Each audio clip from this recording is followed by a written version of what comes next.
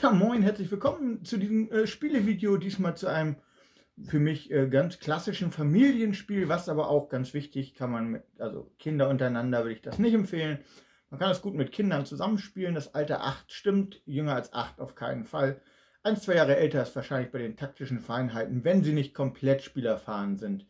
Ähm, super. Caritos ist für zwei bis vier Spieler, dauert circa 45 Minuten, wenn man drin ist. Am Anfang natürlich ein bisschen länger. Ähm, kann man übrigens auch bei Tabletopia spielen und mit einer deutschen Anleitung auch. Äh, oder genau. Ähm, was ist Caritos? Caritos ist zum einen ein Spiel, was finde ich ein sehr, ja, ja, ziemlich cooles Cover hat, ähm, was natürlich wenig darauf schätzen lässt, erstmal, worum geht es denn da eigentlich? Ähm, aber darauf sind die Mitglieder einer Caritas-Bande zu sehen, die auch im Spiel dabei sind. Und ähm, das ist tatsächlich ein Spiel, was in Portugal spielt, auch in Portugal entwickelt wurde und um die portugiesische Sagen, Hexen, äh, dreht. Ich kann einmal den kurzen Text äh, vorlesen, ganz des quasi Hintergrunds des Ganzen. Ganz im Norden Portugals liegt zwischen den Gebirgen Ceres, glaube ich ein C oder Geres, aber Ceres, Mararo und Montesinho eine raue Granitlandschaft. Diese wilde und einsame Region ist bekannt dafür, dass dort sehr häufig übernatürliche Wesen gesichtet werden, wie Hexen, Werwölfe und die teuflischen Caritos. Ja, und nun ist es hier tatsächlich so, man äh, kontrolliert Hexen oder Wesen, die tatsächlich aus dieser portugiesischen Sagenlandschaft kommen. Gibt jeweils im Regelwerk noch einen kleinen Flufftext. Ähm, die sind wirklich super, ähm, sehr kreative Tiere. Ähm, sehr gut umgesetzt, ähm, 1A. Und mit diesem muss man Leute erschrecken. Und wer am besten Leute erschreckt, gewinnt dieses Spiel. Soweit, so einfach. Und ich erkläre am besten einmal die Regeln. Ja, zuerst einmal sei dieser Riesenspielplan erwähnt. Es gibt auf der Rückseite noch eine Version für zwei Spieler. Das ist der große für drei oder vier Spieler. Zu dem Spielplan gehört noch eine sogenannte Hexenkesselkarte. Da kommen Monster hin, wenn sie quasi rausgeschmissen wurden. Genau. Und es sei dann auch gleich nochmal gezeigt, ähm, es braucht nicht immer Zinnfiguren, es gibt hier wirklich äh, sehr coole Standys, ähm, wie man die nennt. Also da braucht man eigentlich gar nicht mehr, das passt schon. Jetzt habe ich mich selber einmal reingelegt. So, jeder Spieler hat in diesem Spiel zwei Monster. Monster gibt immer solche Karten. ähm, gibt es auf Englisch, Deutsch und auf der Rückseite nochmal in Spanisch und ich habe keine Ahnung gerade. Es ist auf jeden Fall viersprachig das Spiel oder auch so, dass man es quasi miteinander mehrsprachig spielen kann. Man hat im Grunde drei verschiedene Aktionen je nach Farbe und jeder Spieler hat immer drei Handkarten. Diese Handkarten habe ich jetzt einmal plus eine geheime Bonuskarte. Habe ich mir jetzt einmal so herausgesucht, ähm, dass sie quasi alles abdecken. Es gibt drei grundsätzliche Farben. Diese Farben entsprechen den Symbolen hier auf der Karte. Das heißt, lege ich eine pinke Karte, kann ich die pinke Aktion durchführen. Gelb, gelb und dieses äh, ja, Türkis ist auch Türkis. Ähm, man führt die von oben nach unten durch. Wichtig ist, wenn man zweimal in Folge das gleiche Symbol legt, man, also in seinem Zug legt man eine Karte, führt die Aktion aus und äh, zieht eine Karte. Legt man beim nächsten Mal das gleiche Symbol hier oben drauf und gerade befindet sich ein seiner, seiner Monster in einem Hexenkessel, darf man ihn raussetzen und dann guckt man, ich habe jetzt nicht das Monster, aber die Symbole hier, die angegeben sind, auf denen darf man sein Monster wieder aussetzen. Ähm, es gibt jedes Symbol zweimal auf der Karte, sind beide besetzt, gibt es ähm, Kreise mit Symbolen drin und da, ja, darf man es dann auch hinsetzen. Kommt allerdings sehr selten vor. Danach werden Karten von oben bis unten abgehandelt. Das heißt, ähm, man führt erst diese Aktion aus, die da drauf sein kann. Das ist zum einen eine Bande, zwei Felder vor, vorsetzen. Die Banden stehen auf dem Spielplan und die werden dann einfach zwei Felder gesetzt in eine Richtung. Was passiert, wenn sie auf Menschen kommen, erzähle ich gleich. Ähm, und das zweite ist äh, Menschen sammeln. Die sind normalerweise in Gruppen auf dem Spielplan. So, ab zwei Personen ist immer ein sogenanntes Lagerfeuer dabei. Aber ähm, es kann halt auch immer mal sein, dass einzelne Menschen irgendwo rumstehen Das ist sehr wichtig, ähm, weil nur die kann man erschrecken und einsammeln. So, wenn man diese Aktion jetzt spielt, muss man alle Figuren zueinander führen, sodass es mindestens zwei auf einmal sind. In dem Fall ähm, ist es wichtig, ich muss es nicht zur nächsten Gruppe tun, sondern ich kann im Grunde über den kompletten Spielplan ziehen. Es darf nur kein Monster oder keine Bande dazwischen sein. Und in dem Fall würde ich jetzt 1, 2 setzen, dann äh, wäre das okay. Aber wenn jetzt hier einer wäre, könnte ich ihn theoretisch durch mein Konstrukt auch hier dazusetzen. Das mache ich mit allen, die einzeln vorhanden sind und dann spiele ich die Aktion aus. Ich habe auf dem Spielfeld ein Monster. Sagen wir mal, das ist meins. Ich setze es mal, schaffe mir jetzt mal eine Spielsituation und ich kann äh, mit meinem Monster, weil ich ein sehr schnelles Monster habe, ich ziehe eine gelbe Karte und darf erstmal fünf Schritte gehen oder auch ein bisschen springen. Ähm, wer das genauer, ähm, das kann man dann im Spiel selbst in, in, ja, quasi entdecken. Auf jeden Fall ist es möglich, wie bei Mensch ärger dich nicht oder sonstigen Legespiel, einfach Felder zu ziehen. Oder und man kann auch mischen, man kann auch, wenn man hier steht, dann springen zu einem Gebäude, wenn es auf seiner, zu einem anderen Gebäude, wenn es auf seiner Karte abgebildet ist. Ja, ich gehe nun ein, zwei, drei Felder und lande auf der Menschensiedlung. Das gleiche wäre, wenn ich die Bande dorthin gezogen hätte. In dem Fall suche ich mir eine Richtung aus und setze eine Figur dahin und dann werden sie abwechselnd von der Siedlung weggestellt. So. Und das Lagerfeuer kriege ich. Jetzt sind es wieder immer zwei. Die kriegen wieder ein Lagerfeuer. Lagerfeuer ist sehr wichtig. Man kann für Lagerfeuer Bonuskarten kaufen. Man kann noch einen äh, Schritt mehr machen. Man kann eine Figur befreien. Oder man kann für äh, Lagerfeuer mehrere, man hat ja zwei Monster und jetzt lege ich eine gelbe Karte, dann kann ich sagen, ich mache erst mit dem Monster einen Zug und dann mit dem Monster auch einen Zug. Denn ähm, wäre jetzt hier nur eine Person und ich ziehe mit meinem Monster da drauf, dann kommt es zu mir. Wäre jetzt hier nur eine Person und ich ziehe die Bande dahin, dann kommt das, die Person aus dem Spiel und ist weg. Gleiches ist, hätten wir jetzt den Fall gehabt, ich gebe ein Beispiel. Hier sind zwei Leute mit einem Lagerfeuer. Ich ziehe darauf, erschrecke die. Der erste geht hier hin, ist einzeln, weg. Der nächste geht hier hin, ist sicher.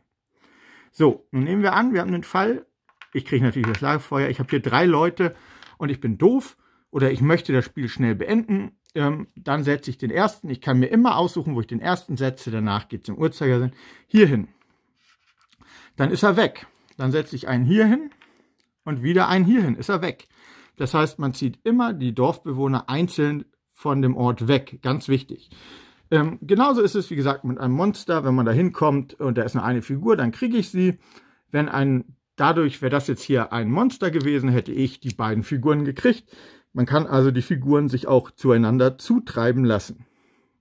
Was das Spiel sehr gut macht dabei, ist tatsächlich, ähm, es gibt fantastische Übersichtskarten, die ähm, bebildert sind und somit wirklich alles zeigen, was erlaubt ist, nicht erlaubt für jeden Spieler.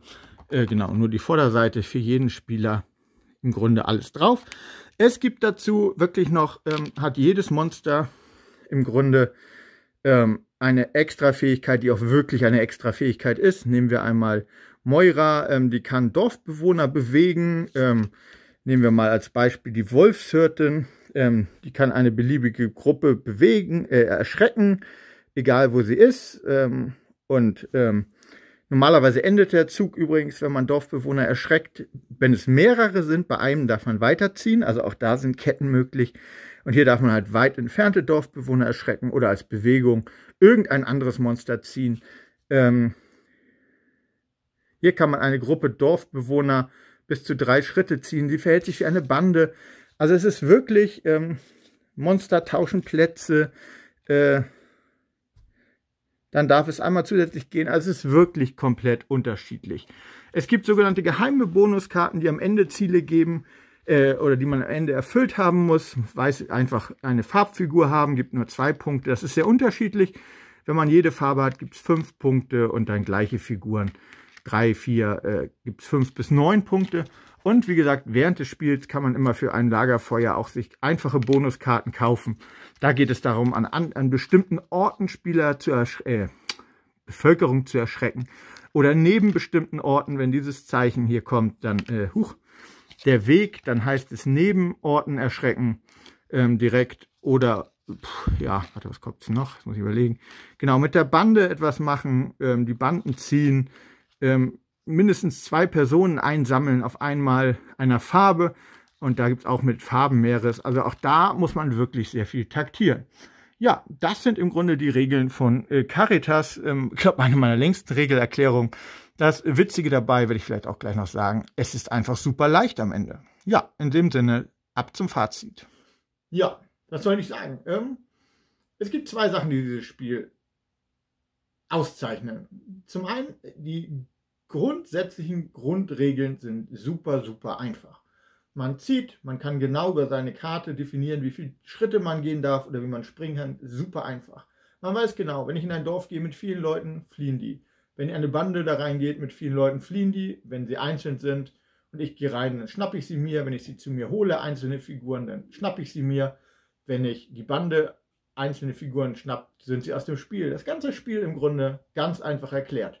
Ähm, die Belohnungskarten sind unterschiedlich ähm, definiert, was die Karte angeht, jetzt nicht super unterschiedlich, was die Art angeht. Ähm, man hat eine geheime Bonuskarte, die am Ende wirklich nochmal den Ausschlag geben kann.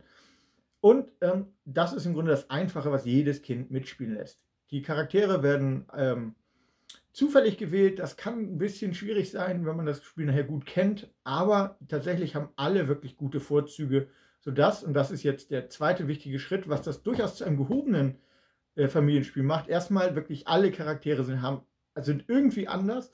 Das heißt, da sind wir schon bei wirklich, ähm, ja, das äh, ist so ein bisschen so ein Trend, macht es auch kompliziert, aber ist super, weil es wirklich Tiefe reinbringt. Und man muss auf sich achten, aber auch wirklich ganz stark. Was haben die anderen Spieler für Monster da? Wie funktionieren diese Monster? Und nicht nur, und das ist ganz, ganz, ganz wichtig, denn dann verliert man eigentlich immer, wie versuche ich mein Ziel zu erreichen, sondern wenn man merkt, oh, einer ist gerade richtig gut, dann muss man entweder A zusammenarbeiten und ihn stoppen oder B auch mal einen Zug opfern und irgendwie versuchen, seine Taktik auch ein bisschen zu bombardieren. Man kann hier blockieren, man kann das äh, in den Kessel schicken ähm, man kann die Bevölkerung zusammenziehen, wenn er denkt, er hat sein Ziel erreicht. Ähm, da geht einiges durch diese kurzfristigen Erschaffen der Ziele äh, oder neuer Ziele, die man sich holen kann. Ah, Auftragskarten im Grunde. Gibt eine sehr starke Varianz, kann man auch ganz schnell Punkte holen. Ähm, diese Hexenfeuer geben eine gute Variable, äh, die Hexenfeuer, diese, die die Bevölkerung macht, wenn mehr auf einem Feld sind, super Variable, die nochmal dazukommt, mit der man einiges machen kann. Die Karten ähm, mit, dass man die Banden ziehen darf oder nicht. Und man muss entscheiden, vielleicht will ich auch mit drei Feuern beide ziehen und welche Kartenfarbe lege ich dann und also oder welche Symbolikfarbe. Also wirklich viel drin, in sehr einfache Regeln gepackt. Und ähm, ich hatte es tatsächlich auf YouTube noch gar nicht zu dem Spiel gesehen. Das hat mich sehr verwundert, weil es einfach ist jetzt vielleicht nichts für diese absoluten Kenner, die dann wirklich tausend Kurzregeln brauchen. So die ist es nicht. Aber wer wirklich ein Familienspiel sucht, was so einen kleinen Schritt weiter geht, obwohl es einfache Regeln hat, für den ist Caritas ein super, super Spiel und von mir ganz klare Empfehlung. Ist nicht das allergünstigste Spiel, liegt im portugiesischen Mebo Kleinverlag und von Heidelberg, wahrscheinlich auch nicht in einer Riesenauflage gedruckt. Aber ähm, von mir tatsächlich gehen für dieses äh, gehobene Familienspiel Mebo, äh, Caritas von Mebo beide Daumen hoch, die ganze Einbindung der Geschichte, in die Regeln ähm, ja, das hat wirklich Spaß gemacht und insofern eine äh, ja, gehobene Familienspielung Caritas Empfehlung. Gehobene Familienspielempfehlung von mir, Caritas von Nebo Schrägstrich Heidelberg. Ich hoffe, man sieht sich hier mal wieder. Ähm, würde mich freuen. Und in dem Sinne bleibt mir nur zu sagen, wann immer ihr dieses Video jetzt gesehen habt, ich wünsche euch einen guten Morgen, Mittag, Abend oder gute Nacht und hoffe, ja, bis bald. Auf Wiedersehen.